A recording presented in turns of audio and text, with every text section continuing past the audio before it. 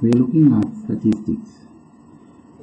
Under statistics, we have two groups of statistics, that is ungrouped data and grouped data. So today we are going to base at data presentation.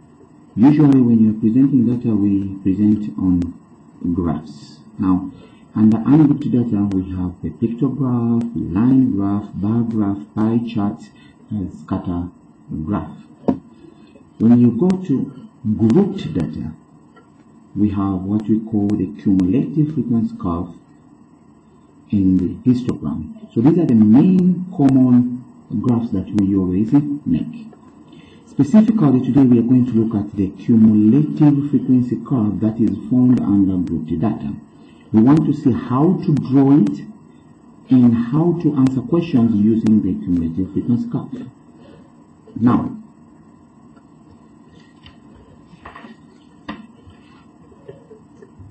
given a table, frequency table, okay, this table can have some frequencies. Let's say in a group of age, called this is what we call class. From 0 to 10, we might have, let's say, 5 people. From 10 to 20, uh, for example, 10 people. From class of 20 to 30, we can have 20 people. And those who are aged 30 to 40, we can have 15. And finally, we can have 10. Now, cumulative frequency is the continuous addition of frequencies. For example, the first one, we have 5, that is at the end of age 10. Now, at the end of age 20, we shall have the first plus the second give us 15. At the age of 30, we can have 5 plus 10 plus 20, giving us 35. And the end of the next class, 5 plus 10 plus 20 plus 15, giving us 50. And finally, 5 plus 10 plus 20 plus 15 plus 10, that will give us 60. In other words, we can say, if you have the first one 5, then the first class plus the frequency of the second class giving us 15, 15 plus the next class 35, 35 plus the next class 50, and then 50 plus the next class, eh, we get that. Now that is cumulative frequency.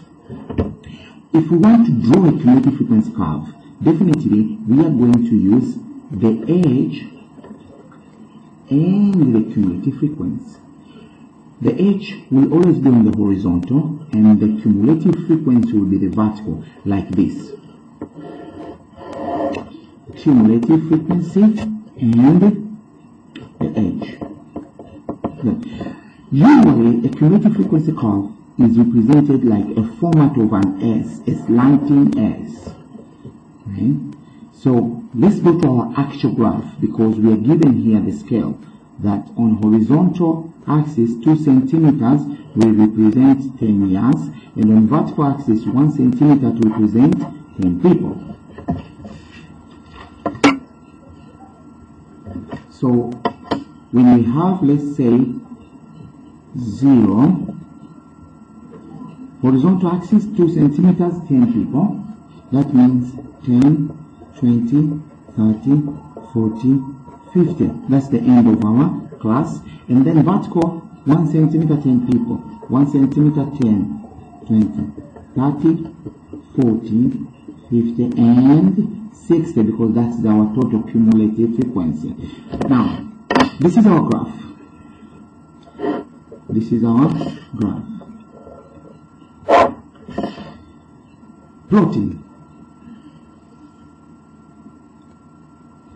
At the end of the first class, that is 10, we have 5. So when we come to our graph, at the end of the first class, we have 5. If this is 10, our 5 is there. So we shall plot there. At the end of the next class, we have cumulative 15. That is at 20. At 20, we have 15. At the end of the third class, we have 35. So when we go to 30, we shall have 35. At the end of the next class, that is 40, we shall have cumulative frequency of 50. So we shall have 50. And finally, at the end of the last class, we have 60.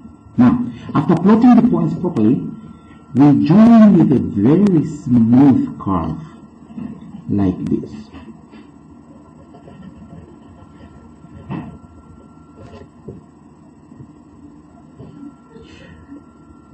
That is our cumulative frequency curve.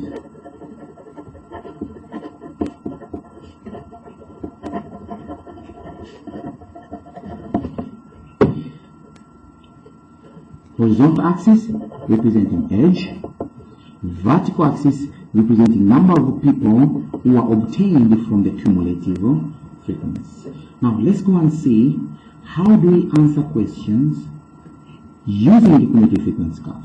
It could be the one you have drawn yourself, or the question can come directly with already constructed cumulative frequency curve, like this.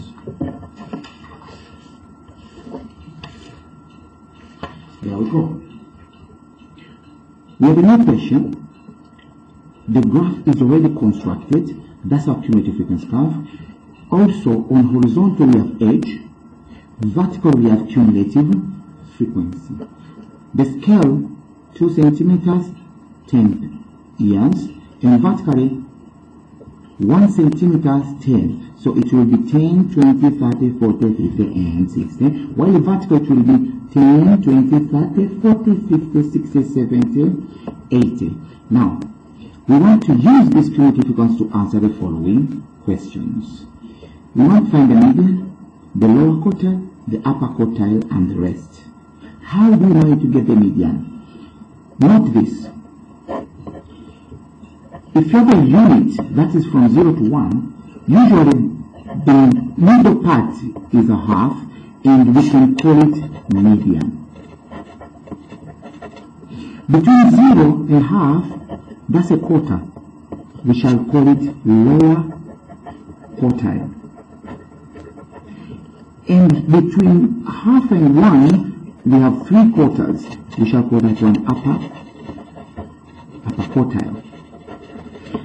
What does this mean? Whenever we find median, lower quartile and upper quartile, we shall simply use half, quarter, and three quarters. Now the first thing we have to know is what is our total cumulative frequency. We go and look at the curve, the end of the curve. Then we read the value, the total cumulative frequency is 80. Now what should we do? For median, we shall take half times the total cumulative frequency for our specific equation. For lower quarter, we shall take a quarter times 80, and for upper quarter, we shall take 3 quarters times 80. Now, 80 times half, we shall get 40. 80 times a quarter, we shall get 20. And 80 times 3 quarters, we shall get 60. This is not a final answer. This is the portion, this is the portion of our cumulative frequency curve. What do we do next? We have to go to our cumulative curve, we read this reading so that we can find the edges. Now, let's start with the median. We got 40 there. We go horizontally till our curve, then we drop down there.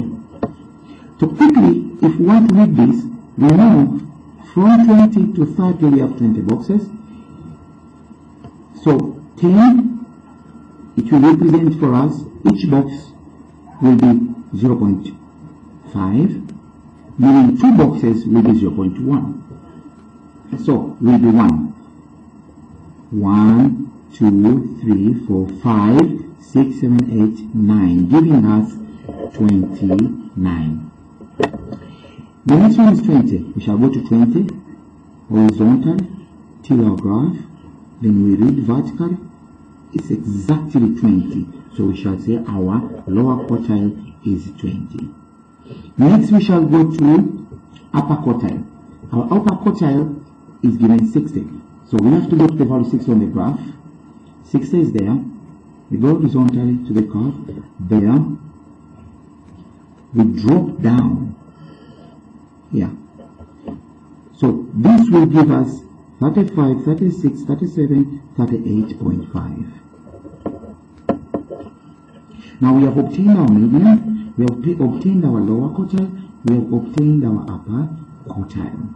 When we're talking about interquartile range, that means upper quartile minus lower quartile.